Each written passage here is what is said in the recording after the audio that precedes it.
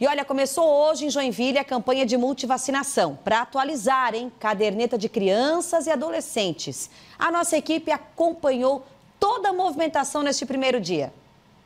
A presença do Zé Gotinha nessa unidade básica de saúde da família, aqui de Joinville, já mostra que hoje é um dia especial. Eu vim tomar vacina ou gotinha, mas daí o vô ganhou vacina. E eu gosto do Zé Gotinha, ele é bem legal.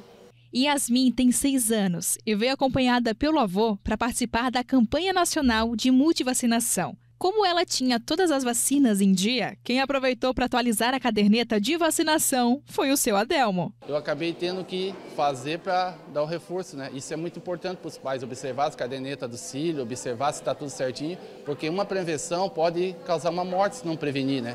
Como a dela estava tudo certinho, eu saí muito feliz aqui. O foco da campanha do Ministério da Saúde é atualizar a caderneta de vacinação, principalmente de crianças e adolescentes. Aqui em Joinville, a preocupação é com as crianças a partir dos 4 anos de idade. A gente quer alcançar os 95%. É, a gente está vacinando em todas as unidades básicas de saúde, né? E no dia D, que é um sábado, próximo dia 21, a gente vai abrir todas as unidades básicas de saúde. Nesta semana, todas as unidades de saúde vão vacinar crianças e adolescentes com os imunizantes que são necessários para cada faixa de idade.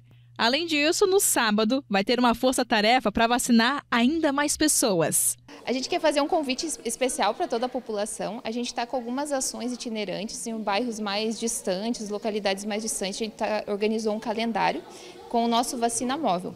Além disso, a gente está pedindo para os líderes de bairros, os líderes comunitários, para reforçar esse pedido da vacinação, né, para as pessoas buscarem as unidades básicas de saúde.